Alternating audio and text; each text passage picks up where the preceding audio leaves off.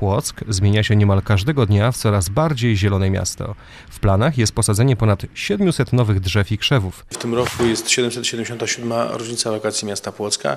W bardzo różny sposób akcentujemy e, tę rocznicę. Jednym z projektów jest e, nasadzenie 777 e, drzew na naszych ulicach.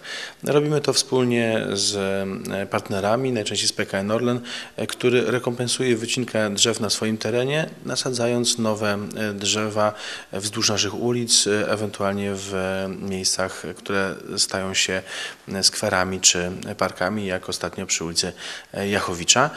I będziemy to konsekwentnie robić, bez względu na to, że w przyszłym roku już będzie kolejna rocznica, e, to tych drzew będzie w Płocku na pewno przybywało. Nad płockimi parkami, trawnikami i nowymi zielonymi wyspami czuwa miejski ogrodnik. To nowe stanowisko i zupełnie nowe w mieście podejście do tematu. Teraz zieleń ma być kolorowa i jeszcze bardziej pasować do architektury. nasadzenia drzew na terenie miasta Płocka w różnych lokalizacjach, między innymi chociażby nawet tutaj na parku na Zdunach, na Gradowskiego, na Kolegialnej, y, Krótka, na, na ulicy też Południowej, na Podolszycach, w rejonach y, miasta, tak samo ulica Źródlana. Y, W większości nasadzenia są w, y, w okolicach placu zabaw, bo place zabaw były na tak zwanej tej patelni, że nie można się było schro- schronić przed, przed słońcem, jednak y, y, rodzice z małymi dziećmi. Jest to w tym momencie uciążliwe.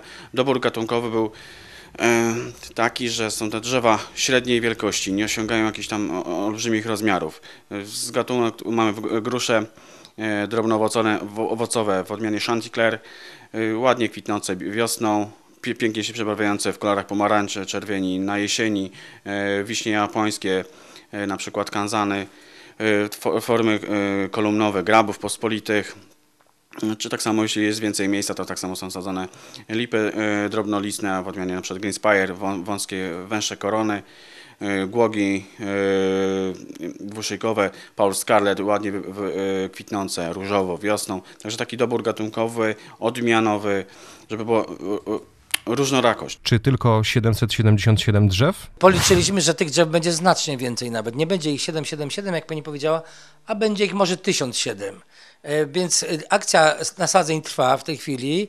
Jest to duża akcja, która jest kontynuowana się od wiosny tego roku. I jeszcze ona w tym momencie trwa. Drzewa można sadzić do pierwszych mrozów, więc na pewno tutaj mamy zakontraktowane to sadzenie, które obecnie wykonujemy do końca tego miesiąca, czyli do końca tego tygodnia, do, do 30 listopada. Ale być może dalej nam pozwoli, że jeszcze kilka drzew będzie posadzonych w grudniu. I spełnimy ten warunek. Myślę, wydaje, że, że ludzie to odczują, będą widzieli tych drzew coraz więcej i tak jak wcześniej powiedział pan Ryszard, miasto Płock będzie miastem zielonym. Nowością jest też sposób zawierania umów między miastem a wykonawcami nasadzeń. Teraz firma, która wygrywa przetarg o stan posadzonych przez siebie drzew i krzewów, musi dbać przez kolejne 3 lata.